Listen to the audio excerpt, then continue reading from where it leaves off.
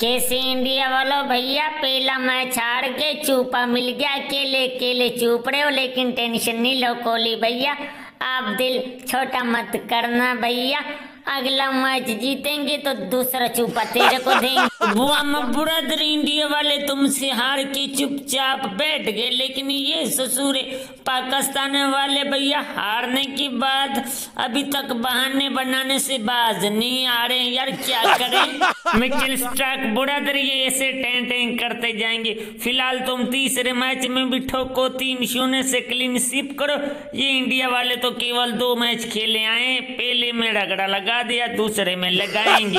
अरे चुप करो ससुरी वालों, साउथ अफ्रीका वालों, ये चूपा भैया रोहित शर्मा लेके आया, खुद अपनी जेब से पैसे भर के क्योंकि ये भैया तुमको देना है, दूसरे मैच में तुमको ऐसा ठोकेंगे, तुम बच्चों की तरह न रो इसलिए हाँ भाई साहब, लेकिन साउथ अफ्रीका वालों, टेंशन नहीं लो, सबको एक एक मिलेगा आपने जिस तरह से हमको हराया था ना, उससे बढ़िया करके, आपने तो तीसरे दिन जाके हराया था ना, हम दूसरे दिन हो सके डेढ़ दिन में मैच खिलास कर। अबे इंडिया वालों काहे को झूठ मार रहे हो यार? हमसे छुपा लेके ऊपर से हमको धमकी दे रहे हो? अबे पहला मैच जीत नहीं सके पहले मैच में थोड़ा बच के थे।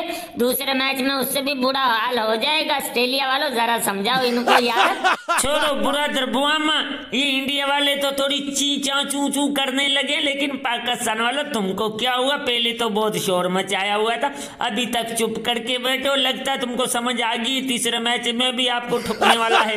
अबे बस कर पैंट कमीज के बच्चे भूतनी वालों नए नए बेईमानी के तरीके निकाल के जीत जीत लेते हो। सब्र करो। अंतिम मैच में बताएँगे इंडिया वालों तुम भी कुछ शर्म करो ठोको। साउथ अफ्रीका को हम इधर ऑस्ट्रेलिया को ठोकते हैं। बाबर भैया हमको तो संभलने का मौका नहीं दिया पहले टेस्ट मैच में साउथ अफ्रीका वालों ने लेकिन दूसरे मैच में बढ़िया करके इनको ठोकेंगे। लेकिन तुम ससुरी वालों हर मैच बढ़िया खेलते हो। जीता जताया मैच अंतिम में जाके हार जाते हो। इस बार कुछ करना जीतना कोहली भाई साहब आप चिंता न कीजिए। तीसरे मैच में भैया इनका ऐसा ढोल बजाएँगे इनका बेईमानी का ढोल भी फाड़ डालेंगे। यो ससुरी दूसरा मैच भैया बेईमानी से जीत के सिरे जीत के बैठ गए हैं। अबे बस कर ससुर के नाती रजवान के बच्चे फोकट में बहाने नहीं बनना भैया। कि बेईमानी किया भूतनी वाला।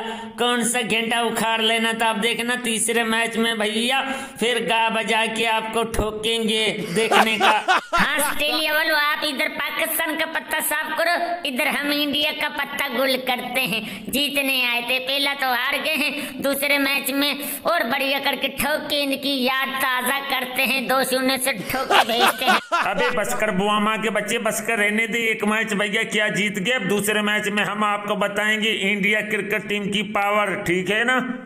भाइयों, ये केवल एक फनी वीडियो थी, वीडियो को लाइक एंड चैनल को सब्सक्राइब कर लेना प्लीज़